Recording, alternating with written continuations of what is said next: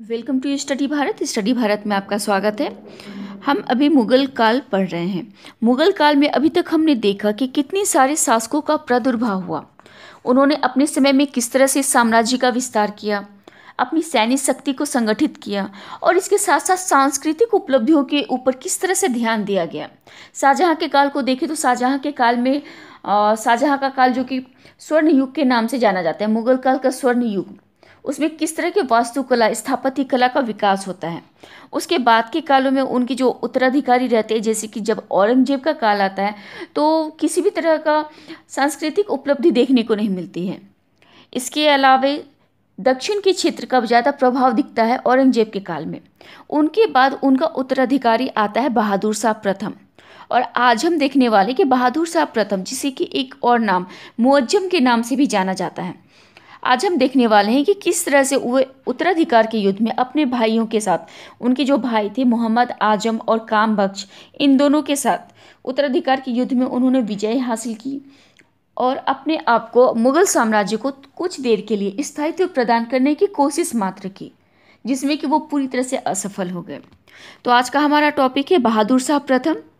इनकी शासनकाल देखें तो यहाँ बताया गया है 19 जून 1707 से लेकर 27 फरवरी 1712 ईस्वी तक। उनका पूरा नाम था कुतुब उद्दीन मोहम्मद मुअज्जम। जन्म तिथि की बात करें तो बहादुर शाह प्रथम का जन्म बताया जाता है। 14 अक्टूबर 1643 ईस्वी संभवतः बुरहानपुर मुगल साम्राज्य। माता का नाम था रहमतुनिस बेगम, जिन्हें कि नवाब बाई के नाम से भी जानते हैं और पिता थे औरंगज़ेब। इनके शासनकाल की जो अवधि थी, वो बहुत ही कम देखने को मिलती है। चूँकि सत्रह सत्रह सौ सात से सत्रह सौ बारह ईस्वी, जब ये सिंहासन पे बैठते, तभी इनकी उम्र रहती है तिरसठ वर्ष की। काफ़ी अधेर उम्र में ये सम्राट बनते हैं। लेकिन कुछ दिनों तक ये कोशिश ऐसा करते हैं कि ये मुगल साम्राज्य को कुछ देर के लिए और स्थिरता प्रदान कर सके। इसके लिए इन्होंने बहुत ज़्यादा मेहनत की। सबसे पहले तो गृह युद्ध से ही गृह युद्ध में ही इन्हें विजय हासिल करनी पड़ी, जो कि इन्हें अपने भाइयों के साथ ही लड़नी पड़ी थी। सबसे पहले तो जब औरंगज़ेब की मृत्यु होती है तो उसकी मृत्यु के समय उसके तीन पुत्र रहते हैं। सबसे बड़े का नाम है मुअज्जम सेकंड नंबर में आज़म और तीसरे रहते हैं कामबख्श। जब औरंगज़ेब मर रहे होते हैं, मृत्यु सैया पर लेटे होते हैं, तभी औरंगज़ेब को अपने तीनों पुत्रों के बीच में जो संघर्ष होने वाला है, यानी कि भावी संघर्ष की जो की जो कल्पना है, जो आभास है, उसका अंदाज़ा हो गया था। और उसने अपने तीनों बच्चों के बीच में किसी तरह का युद्ध ना हो, इसके लिए बहुत ज़्यादा इंतज़ाम किया था। तीनों को अपने रहते काल में ही अलग अलग साम्राज्य यानी कि उनके बीच बंटवारा कर दिया था। तीनों पुत्रों को एक साथ बताया गया था कि उनके आ, उनके बीच में किसी तरह का युद्ध नहीं होना चाहिए लेकिन फिर भी उनकी मृत्यु के बाद जो कि चार मार्च को हो गई थी उनकी मृत्यु के बाद उनके बच्चों में उत्तराधिकार के लिए युद्ध हुआ। बहादुर साहब प्रथम इन्होंने आ, ये सबसे बड़े पुत्र थे। और सबसे ज़्यादा प्रभाव औरंगज़ेब के बाद उनके पुत्रों में सबसे ज़्यादा प्रभाव मुअज्जम का ही देखा जाता है। यानी कि बहादुर शाह प्रथम का देखा जाता है। जब औरंगज़ेब की मृत्यु होती है तो उसकी मृत्यु की सबसे पहले खबर उसके दूसरे पुत्र जिनका कि नाम आज़म था। और उस समय उनकी स्थिति थी दक्षिण में। यानी कि वो दक्षिण में स्थित थे। वहाँ पर उन्हें शासन संभालने के लिए भेजा गया था। तो चौदह मार्च को आज़म को पता चलता है कि उनके पिता की मृत्यु हो गई है। और पिता की मृत्यु के बाद उन्होंने 14 मार्च को ही अपना राज्याभिषेक करा दिया था। अपने नाम के सिक्के चलवाएँ और अपना नाम धारण किया था अबुल फैज कुतुबुद्दीन मोहम्मद आज़म शाह गाजी। इसकी उपाधि ली थी। वहाँ पे उन्हें कुछ सपोर्ट्स भी मिल गए थे क्योंकि दक्षिण में जितने भी सरदार थे, जितने भी ईरानी सरदार थे या फिर जो अमीर थे वहाँ के, वे सभी लोग आज़म की मदद कर रहे थे, उनका साथ दे रहे थे। इनमें ईरानी सरदारों का साथ आज़म को नहीं मिला था, क्योंकि आज़म के ऊपर सिया और सियाओं के साथ समर्थक, सियाओं का समर्थक होने का संदेह हमेशा से बना रहा है, क्योंकि वो धार्मिक रूप से थोड़े बहुत धार्मिक सहिष्णु व्यक्ति थे। तो ईरानी जो सरदार थे, वे, उनका यह मानना था कि आज़म जो हैं, वे सिया मत को मानने वाले हैं। यह उसके लिए बहुत ही ज़्यादा हानिकारक साबित हुआ क्योंकि जब आज़म को अपनी मृत्यु आज़म को को अपने पिता की मृत्यु का सूचना मिलता है तो उसने अपना राज्याभिषेक तो करवा ही लिया, लेकिन खास खास इसके साथ साथ उन्होंने क्या किया? यह खबर कामबख्श को भी भिजवा दिया। कामबख्श, जो कि उनके सबसे छोटे भाई थे। दूसरी जगह जहाँ की कामबख्श का कामबख्श सरदार के रूप में अपना राज्य देख रहे थे, वहाँ भी कामबख्श ने अपना अलग से राज्याभिषेक करवा लिया। और उसने दीन पनाह का विरोध धारण किया था। उसने भी अपने नाम के सिक्के ढुलवाए खुतवे पढ़वाए। लेकिन कामबख्श की स्थिति अपने दो भाइयों, दोनों जो बड़े भाई थे, उनकी तुलना में बहुत ही कम थी। कुल मिलाकर देखा जाए तो इनके शासनकाल में मतलब कि औरंगज़ेब के बाद का जो समय काल रहता है, उसमें बहादुर शाह प्रथम की ही स्थिति थोड़ी बहुत मज़बूत रहती है। बहादुर शाह उस समय काबुल में रहता है और उसे काबुल में ही सूचना मिलती है कि उसके पिता की मृत्यु हो गई है। वह भागा भागा अपने राज्य में आता है लाहौर आता है दिल्ली आता है और फिर वहाँ आकर के उसने क्या किया? अपने दोनों भाई जिन जिसने कि पहले ही अपने अपने नाम का राज्यभिषेक करवा लिया था सिक्के ढलवा लिए थे खुदवा पढ़वा लिया था। इन दोनों को चैलेंज किया। सबसे पहले तो आज़म को बोला आज़म ने आ, अपने भाई बहादुर शाह ने जो उसे बोला था कि सुलह करने के लिए, और औरंगज़ेब के द्वारा जो साम्राज्य का बंटवारा कर दिया गया था, बहादुर शाह तैयार था उसके लिए कि वो अपने भाइयों में बंटवारा कर देगा और साम्राज्य को अलग अलग तरीके से अलग अलग जगहों पर उपभोग किया जाएगा। लेकिन आज़म इसके लिए राज़ी नहीं हुआ। वह पूरा साम्राज्य ही हथियाना चाहता था। बहादुर शाह से उसकी झड़प हुई और आज़म की हार हुई और इसी हार में उसकी मृत्यु भी हो गई थी। इसके बाद उसने, यानी कि बहादुर शाह ने सेम न्योता अपने सबसे छोटे भाई कामबख्श को भेजा। लेकिन कामबख्श के ऊपर भी पूरी दिल्ली सल्तनत को हथियाने का स्वप्न चढ़ा हुआ था। उसने भी अपने बड़े भाई की बात नहीं मानी। बड़े भाई की बात नहीं मानने के बाद उन दोनों के बीच युद्ध हुआ और अंत में होती है कामबख्श की हार। चूँकि बहादुर शाह ने अपने भाई के ऊपर रहम करते हुए उसे मृत्यु के घाट नहीं उतारा, लेकिन उसे अपने अंदर काम करने के लिए राज़ी ज़रूर कर लिया था। इसके बाद यहाँ बताया जा रहा है कि बहादुर शाह ने अपने शासनकाल में अपने सहयोगियों को कई नई नई उपाधियाँ एवं ऊँचे दर्जे प्रदान किए थे। हालाँकि बहादुर शाह के शासन के समय उसके दरबार में षडयंत्र के कारण दो दल, दो दलों में उनका विभाजन हो गया था। एक थे ईरानी दल, जो सिया मत को मानने वाले थे, और दूसरे थे तुरानी दल, जो कि सुन्नी मत को मानने वाले थे। बहादुर साहब प्रथम ने राजपूतों के साथ भी संधि की नीति अपनाई थी और इसके साथ साथ उसने मराठाओं के साथ भी संधि करने की कोशिश की थी, जो मुगल वंश के लिए सबसे बड़ा खतरा साबित हुआ। तो इस तरह से यहाँ बताया जा रहा है कि किस तरह से मुगल बादशाह बहादुर शाह ने अपने शासनकाल में सबसे पहले तो अपने गृह युद्ध में विजय हासिल की, अपने दोनों भाइयों के खिलाफ विजय हासिल की, फिर अपने सबसे छोटे भाई कामबख्श को अपने अंदर कहीं का सरदार नियुक्त कर दिया, उसे रख लिया। इसके बाद उनका दूसरा अभियान होता है सिखों के ला, सिखों के साथ, राजपूतों के साथ होता है, सिखों के साथ होता है। सिखों में इस समय उनके गुरु थे गुरु गोविंद सिंह। गुरु गोविंद सिंह का समय चल रहा था। बहादुर शाह ने गुरु गोविंद सिंह के साथ अपना अपना मित्रतापूर्ण व्यवहार स्थापित किया। वे गुरु को, उन्होंने गुरु को न्योता भी दिया और वे दोनों साथ साथ दक्षिण चलने के लिए तैयार भी हो गए थे।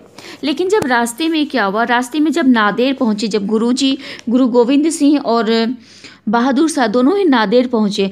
तो गुरुजी उस समय बहादुर शाह से अलग हो गए और उन्होंने कहा कि वो अपना बाकी का जो भी जीवन बचा हुआ है, वो नादेर में रहकर ही बिताना चाहते हैं। और इसी बीच आगे चलकर सत्रह नवंबर 1708 को गुरु गोविंद सिंह की हत्या भी कर दी जाती है। गुरु गोविंद सिंह के बाद उनका बेटा, यानी कि बांदा बहादुर बांदा बहादुर का समय आता है। बांदा बहादुर ने मुगलों, यानी कि जो भी मुसलाम, मुसलमान इस्लाम धर्म को मानने वाले शासक आए, उन सबके ऊपर अपना प्रभुत्व कायम करना चाहा। और मित्रता का संबंध जो कि गुरु गोविंद सिंह ने कायम किया था, उसे खत्म कर दिया। बल्कि यहाँ तक कि बंदा बहादुर ने ऐसा भी किया, उन्होंने कहा कि जितने भी मुसलमान हैं, उनके विरुद्ध लड़ने के लिए पंजाब के विभिन्न हिस्सों में हज़ारों सिखों को इकट्ठा किया। इसके अलावा कैथल, समाना, शाहबाद अम्बाला कपूरी और सढोरा, इन सारे क्षेत्रों पे खुद ही कब्जा भी कर लिया। इन सारे क्षेत्रों पे कब्जा करने के कारण कब्जा करने का एकमात्र उद्देश्य था कि सिखों की जो वर्चस्व है, उसे फिर से बहाल करना। सिख सेनाएँ दिल्ली के बाहरी सीमाओं पर आ गई बड़ी बड़ी सेनाएँ पहुँच गई और वहाँ पहुँच के उन्होंने लूटपाट शुरू कर दिया।